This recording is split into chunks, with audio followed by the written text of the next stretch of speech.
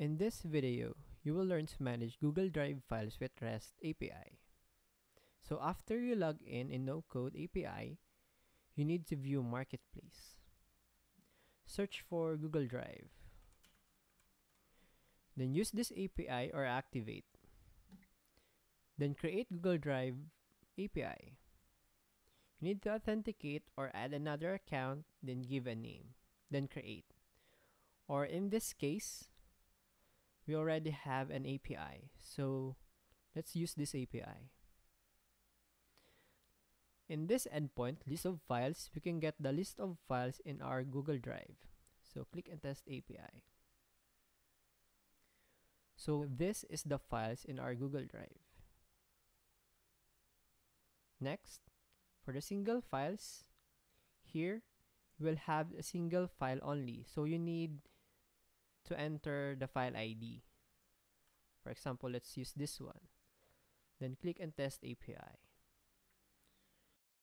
You will only have a single ID. Same for the upload file. And upload remote file, here you need to encode the remote URL to upload the file. So for example, let's use this remote URL.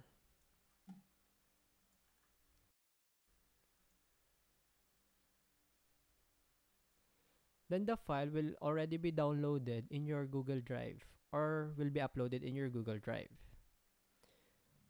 Next one is the delete file. For example, you want to delete the up the one that you uploaded.